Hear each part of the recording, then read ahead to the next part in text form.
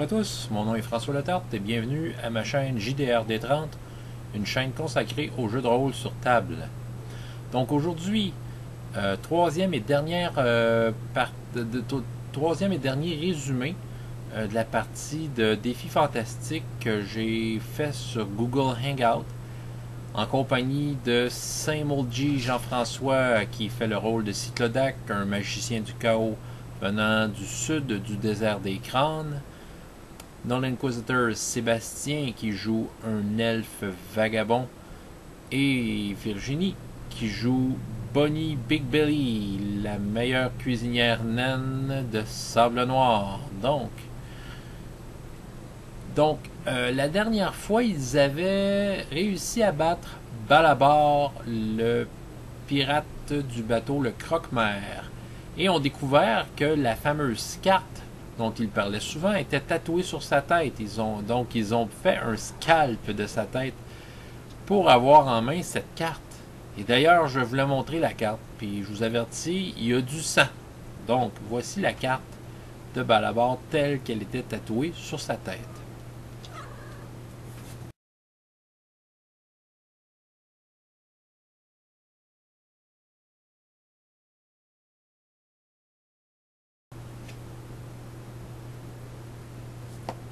Un chat. OK, donc euh, voici la, c'était la carte. Donc, pour euh, retrouver le triacontèdre, ils ont eu à déchiffrer cette carte. Et c'était Bonnie qui s'en occupait, car euh, de son frère Benny, elle avait su un peu comment lire le code de Orogar, grâce au petit livre en métal qui se trouvait être le dictionnaire que son frère utilisait. Son frère était un expert. Bonnie euh, à un certain moment donné, il l'a appris pour faire plaisir à son frère, mais là, présentement, ça s'avérait utile. Euh, elle avait quand même de la difficulté à déchiffrer le code de C'est qu'Orogar, ce qu'il faut comprendre dans l'histoire, c'est que est un genre de scientifique, artiste, euh, explorateur. Puis quand il faisait son code, mais son code, pour la façon de le déchiffrer, il va y avoir plusieurs niveaux de compréhension tout dépendant l'habileté qu'on avait à le déchiffrer. Donc, l'habileté que Bonnie avait l'a amené à déchiffrer euh, quelques énigmes, en fait. C'était, si ça aurait été son frère, il l'aurait probablement déchiffré au complet avec des phrases complètes. Mais là, euh, c'est ça, elle avait. Ce qu'elle a déchiffré ressemblait à ceci. Elle savait que euh, l'endroit qui était euh, qui était dessiné sur la carte se trouvait à Carcépolis, donc la ville qui est en dessous de Sable Noir. Ensuite, elle savait l'emplacement, où était l'entrée. C'était sur le bord de la rivière euh, du Poisson-Chat, qui se trouvait dans, la ville de Sable Noir. Une pierre avec une étoile dessus. Excusez, il faut que je mette un fil. Sinon, vous allez me perdre. Et donc, elle savait ça. Et pour le restant, c'était des phrases un peu étranges. Euh, une qui était Golem, l'âme, c'est faux. Euh, ici flotte votre passé. Euh, le virage qui n'arrête pas, vous devez le nommer. Il y avait aussi l'œil derrière votre tête donnera la, direction.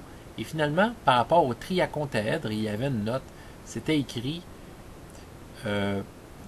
prend et donne et reprend à celui qui a reçu.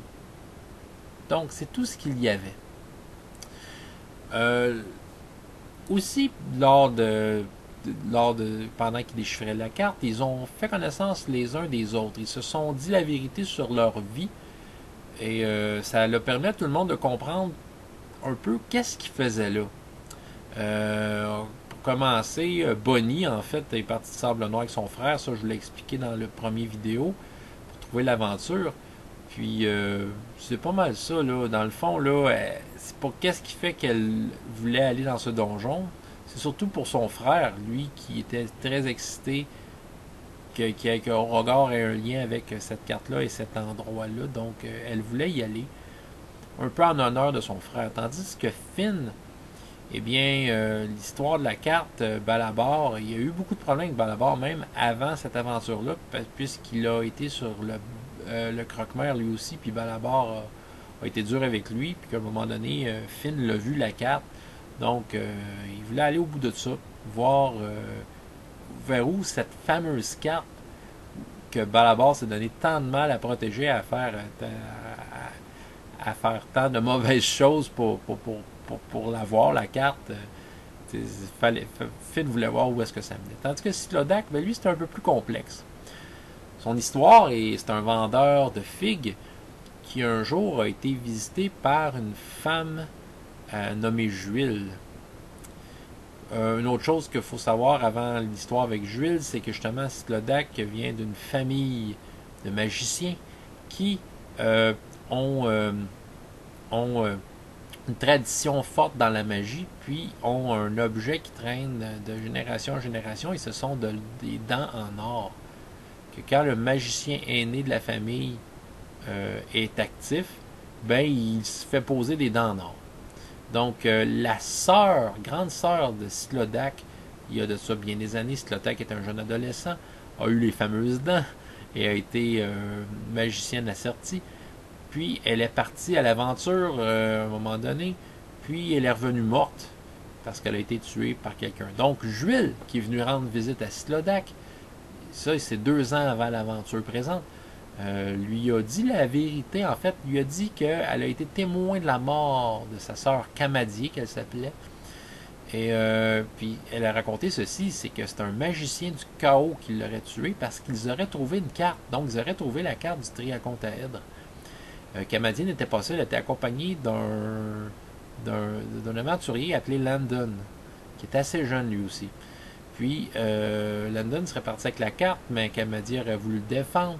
Puis le magicien du chaos aurait tué Camadien. Et Jules, par la suite, révèle à Slodak qu'elle elle était elle-même une magicienne du chaos, mais qu'elle elle était plutôt du côté des gentils, si on veut. Puis elle a tué le magicien du chaos qui a tué Camadien, mais c'est ça, elle a voulu par la suite euh, voir. Euh, elle, a su par la suite que l'âme de Camadien était enfermée dans le triacontaèdre. Puis que, c'est ça, pour le retrouver, il fallait que quelqu'un de sa famille puisse le faire étant donné que Jules ne connaissait pas Camadier, ça lui a pris des années de retracer Slodak. Et maintenant qu'elle avait Slodak, elle lui a dit si tu veux sauver ta sœur, il va falloir que tu aies, tu aies retrouvé le, le, et euh, que tu apprennes la magie toi-même. Donc Slodak ne savait pas la magie, mais pour sauver l'âme de sa sœur, il a décidé de le faire. Surtout que Slodak, quand sa sœur est revenue, bon, ils lui ont pris ses dents, puis ils les ont données à Slodak. Il n'était pas magicien, mais ils lui ont quand même donné les dents parce que c'était l'aîné. Puis c'était plus par tradition. Puis que c'était un bon endroit pour pas les perdre. Donc, euh, ils lui ont donné.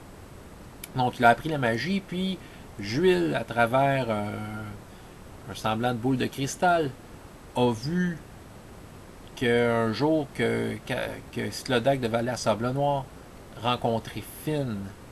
Donc, elle ne savait pas son nom, mais elle rencontrait un elfe qui avait un joyau flottant parce qu'il pouvait l'amener au triacontaèdre. Et c'est pourquoi que dans le premier vidéo, justement, Cyclodac est arrivé à Sable Noir, il a demandé à Finn, mais connaissez-vous le triacontaèdre?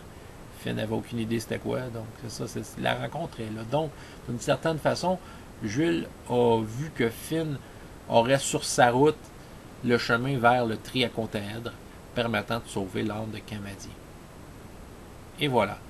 Donc, maintenant qu'ils connaissaient tous leurs secrets, il y a aussi Scottan, le nain qui s'était fait euh, poignarder euh, dans l'auberge du marin ivre et qui a décidé de, qui a demandé d'y aller avec eux parce que Scottan est un artisan qui grave des runes sur des objets.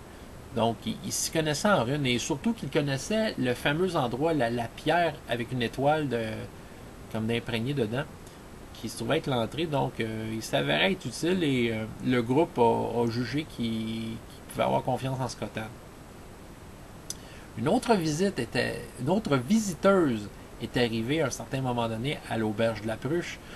Euh, c'est la madame à la peau noire qui était sur le croque-mer qui a essayé de lancer un sort contre Finn la dernière fois, puis qui a aussi fait des sorts dans le jardin public. Puis elle était arrivée, elle était son linge était déchiré, elle, était, avait un œil au beurre noir. Elle avait été violentée un peu. Puis elle est arrivée au groupe en disant pitié, pitié, prenez-moi, protégez-moi, j'ai des problèmes avec les pirates, puis euh, je sais que vous êtes des valeureux euh, aventuriers, vous pouvez me protéger, tout ça. Cette fois, le groupe a refusé sa, demande. En fait, ils l'ont mis à la porte. Donc, la madame, qui s'appelle Suna, je dis le nom, je ne l'avais pas nommé pendant la partie, mais c'est plus facile d'en parler quand elle a un nom. Donc, elle s'appelait Suna. Donc, Suna on, est tombé en colère et a commencé à, à, dire des choses comme euh, les dieux des océans vont vous avoir, vous ne savez pas c'est quoi le triacontaèdre, le danger que ça représente. Euh, Balabar, pouvez devenir le dieu des mers avec ça, c'est dangereux. Puis. Mais étant donné que le groupe n'avait pas confiance en Suna, ils l'ont mis à la porte et voilà, ils n'ont pas écouté ses conseils. Donc, ils ont préparé une expédition qu'ils ont, qu'ils ont euh, débuté tôt le matin. Ils se sont rendus à la fameuse pierre, donc Scotan, Cyclodac, Bonnie et Finn. Et euh, bon, ben, sur la pierre étaient assis deux orques qui étaient en train de pêcher dans la rivière. Euh, ils ont eu à chasser les orques. Puis ils ont réussi à soulever la pierre et à entrer dans une espèce de. C'est comme un, On pourrait dire un, passage vertical avec une échelle euh, imprégnée dans, la paroi qui menait vers le souterrain, probablement un endroit de Carcépolis. Quand tout le monde est entré, Slodek était le dernier, ben Suna est, revenu les voir, puis a encore euh, averti Slodek de dire vous, ne savez pas c'est quoi le triacotaèdre, puis euh, c'est dangereux, vous allez tous mourir, mais c'était pas c'était plus un, l'avertissement, il n'avait pas vraiment pitié d'eux, mais si Slodak a dit non, non, regarde, je, je t'écoute pas, puis bye. À la prochaine. il, a refermé, il a refermé le couvercle et il est descendu. Maintenant, ils étaient rendus dans l'endroit euh, que la carte dessinait. Donc, premier endroit qu'ils ont visité, première salle qu'ils ont visité, il y avait trois golems de, pierre dedans. Donc, ils avaient, euh, il y en avait un qui était en plein centre et les deux autres étaient sur le, sur le mur du fond, qui était à côté. Chacun, chacun des golems avait chacun une porte à, côté, une porte, une issue pour aller ailleurs dans cet endroit. Le golem du centre s'est avancé vers eux pour les attaquer. Euh, puis les deux autres golems sont tout simplement, ils ont ouvert les portes, les portes qui étaient à côté d'eux, puis sont rentrés là-dedans, puis ils sont partis. Donc, ils sont partis patrouiller, en fait. C'est ça qu'on comprend un peu plus loin dans l'histoire. Mais en attendant, ils avaient un problème avec un golem de pierre qui était très difficile à battre. Ils ne pouvaient pas le battre avec des lames. En fait, ils avaient compris que l'énigme golem, lame, c'est faux. Ça voulait tout simplement dire que des lames, ça ne marchait pas qu'un golem. Donc, euh, même si Tlodak a eu un problème à un moment donné, il a voulu lancer un sort sur un des golems, mais étant donné que c'est un magicien du chaos, euh, il y a des fois que les sorts euh, font pas tout à fait ce qu'ils veulent et là, il s'est passé de quoi? C'est qu'en fait, le sort s'est retourné contre lui. Ça, il, a même frôlé la mort, mais vraiment frôlé, on s'entend. Il a perdu une dent en or. Euh, la dent en or, il, sait que cette dent-là, là, quand s'il aurait. C'est dans cette dent en or-là, l'a sauvé en fait. Mais il, a quand même frôlé la mort, mais vraiment, en chiffres, là, selon ses, ses points d'endurance, il était très proche de la mort. Scotan euh, l'a sauvé avec une potion de vigueur. Vive les potions de vigueur. Les potions de vigueur dans les livres dont vous êtes les héros vous ramènent à votre parfaite santé. Donc, j'ai utilisé la vraie potion de vigueur, la seule et l'unique. Donc, ils ont battu le golem et ont décidé d'aller vers une des salles que sur la carte était désignée par un œil avec une larme. Donc, ils ont décidé d'aller voir cet endroit-là. Ils n'ont pas rencontré à ce moment-là de golem, mais ils entendaient ces pas de pierre. Dans, ils entendaient leur, que ça résonnait. Ils ont eu le temps de se rendre à la salle et rentrer dans une salle qui était étrange. Euh, c'était comme une forêt de cristal. C'est comme des arbres qui auraient été soudainement cristallisés. Et au milieu de cette pièce-là, euh, qui était éclairée par l'éclat du cristal, il y avait une espèce d'étang. Donc, euh, Slodak, Scotland, les deux premiers à être entrés, sont rentrés dans cet endroit-là. Et quelque chose a attiré leur attention, hormis les arbres, c'est qu'il y avait euh, dans leur, reflet dans l'eau était euh, bizarre. En fait, c'était comme si c'était un miroir, un, beau miroir. C'était pas distorsionné quand on se regarde dans l'eau, ça peut distorsionner un peu là, notre reflet. il n'est pas parfait, mais là, le la, réflexion était parfaite. Ensuite, euh, deux personnes sont arrivées qui étaient dans la pièce apparemment. Une femme euh, qui avec les yeux un peu bridés, tout ça, elle avait un, un air de quelqu'un qui venait du continent de Kul. Et Kamadi